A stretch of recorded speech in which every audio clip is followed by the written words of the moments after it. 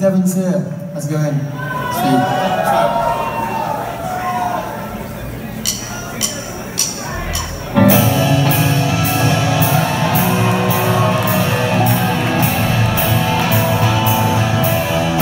First you act so strong